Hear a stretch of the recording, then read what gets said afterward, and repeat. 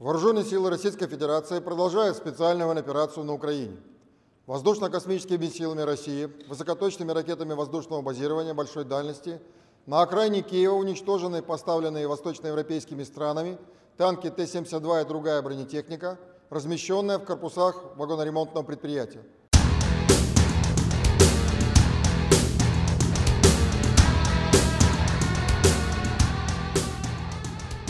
Halo pemirsa Albiruni ID, kembali lagi di channel Albiruni ID. Kementerian Pertahanan Rusia merilis video serangan terbaru mereka ke fasilitas strategis militer Ukraina.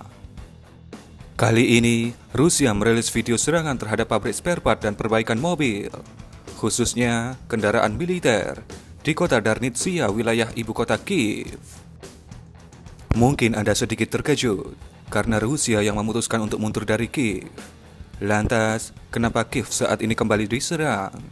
Apalagi menggunakan rudal? Karena tentunya ibu kota Kiev dipagari oleh pertahanan udara yang paling mutakhir milik Ukraina. Karena di kota ini ada istana kepresidenan Ukraina dan juga markas besar militer Ukraina. Bagaimana ini bisa terjadi? Jawaban dari pertanyaan itu adalah Rusia menggunakan wahana paling canggih dan mutakhir mereka dalam serangan kali ini. Untuk mampu menembus langit di sekitar ibu kota Kiev, atau mungkin terbang sampai mendekat ke Kiev dari timur Ukraina, perlu wahana udara yang low observable.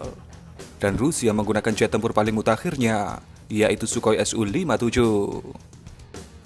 Setelah menggunakan jet tempur Su-57, rudal yang digunakan untuk menghantam target di sekitar kota Kiev pun harus yang memiliki kemampuan di atas rata-rata.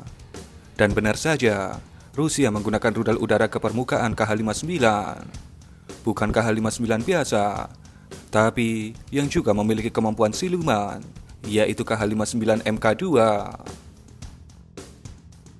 Anda bisa lihat bentuk dari rudal ini, yang terlihat memang didesain untuk misi dan target khusus. Kemudian, Anda juga dapat melihat pada video bahwa rudal ini mampu mengirimkan video sesaat sebelum menghantam targetnya secara real time. Jadi, kombinasi antara Su-57 dan KH-59 MK2 menghasilkan hancurnya pabrik perbaikan mobil-mobil militer Ukraina. Bagaimana pendapat Anda mengenai pengerahan Su-57 ini? Apakah Rusia mulai bermain serius? Berikan komentar Anda.